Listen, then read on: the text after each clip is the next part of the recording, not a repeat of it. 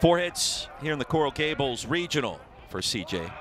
As he takes low and away for ball one for the Canes. And Witt says not tonight. A one, two, three, top of the first. Keep attacking.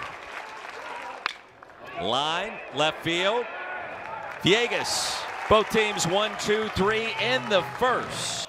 To that win and helping up that bullpen as well. Yeah, they win tonight, and they'll look back on that performance.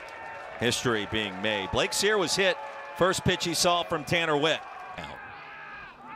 And Levenson was hit. First two aboard for the Hurricanes. This one has a chance. Deep right field. Campbell going back. Miami three, Texas nothing.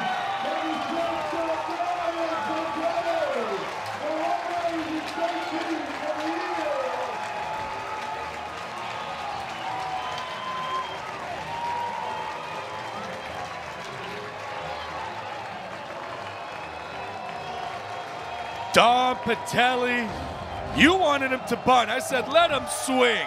And that is why I said 13th home run of the season. He knew he got it right away. Ball sails over the fence. And he offered. This one line into right field. It'll get down for a knock. And the first base runner for the Horns is Jack O'Dowd. And he'll draw the walk. First issued by Gallo. Failed to win a single game this postseason. Thomas yanks this one down the right field line. That's a fair ball. Coming around third is Jack O'Dowd. He's going to score. That'll make it three to one, and the Horns now with two in scoring position.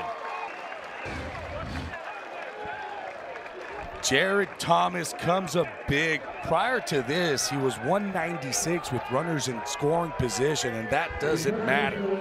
He rips this double. Postseason play. And there it is through the four hole. That'll drive in one run. Right behind him is Thomas after Daly scored, and we're tied at three. And this is how the game of baseball works. Peyton Powell, you said it. He's due, and boy, did he deliver. A base hit in the four hole, guys in scoring position, and all of a sudden, it's a new ball game. And the 2 1. Flare into left field. That'll get down. 38 game in a row hitting streak. Powell now at second. Runners go. And this a hot shot past Morales at third. Coming home to score is Powell. Horns have the advantage. Right behind him is Campbell. And it's 5 to 3.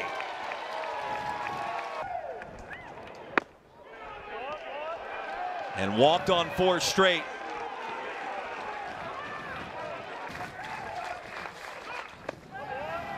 And now the Longhorns have him loaded. So winner here has a chance to do some major damage, and Flores to straightaway center. Long goes back. How about a grand slam?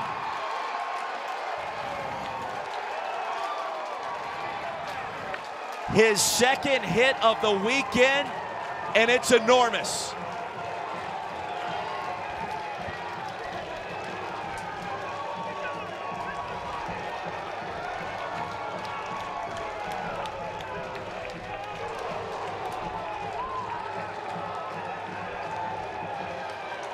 My Flores gets a breaking ball up in the zone. Cement mixer is what we call it. It doesn't do much. And 0 2 to Mitchell Daly. Through the six hole again for a knock. Daly's now walked and singled in this inning. Fly ball center field, Jacoby Long. Gonna catch up to it. it's not crazy to say that you can't come back from that. And Daly boots it. Kayfus aboard on the E6. Game. And a little dribbler off the glove of O'Dowd into right field. And the Canes starting to cook with runners at first and second. All of a sudden, a big moment. Up the middle. Could be two. O'Dowd over to first. Double play. That'll get through for a knock. And Blake Cyr aboard for the second time tonight. And Brown fumbled it for a moment. Cyr goes back to first, trailing by six. That hit by pitch. Wasn't happy about it. This is chopped over to shortstop, and Daly will get the force out at second. And that's it. You're in the top of the sixth. And Pitelli. Line drive to center field. Kennedy is right there. Wee hours of the morning. That'll sneak through. Gonzalez. First hit of the weekend. Now runners at first and second. Big pitch from Hurley. Swung on and miss. And Hurley escapes.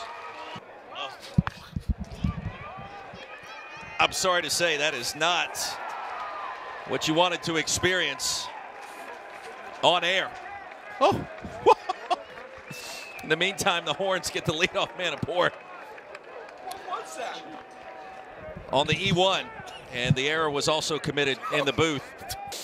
Was a bit chunky. This one bunted over to first. And the force out at second. Thomas now standing at first base. Some would say that silence has been our best work. Runner goes again. Ball four to Campbell. And the Horns with runners at first and second.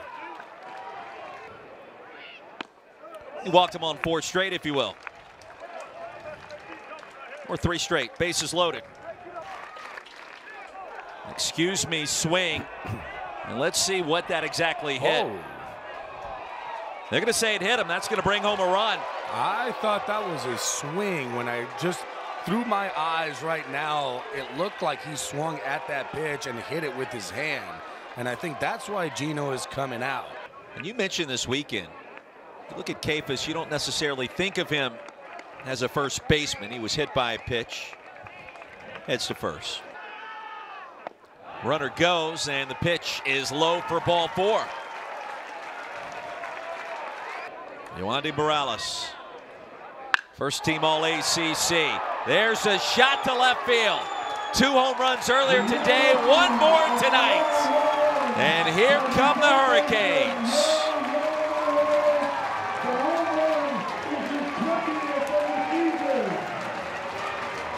20th home run of the year for Yo-Yo Morales.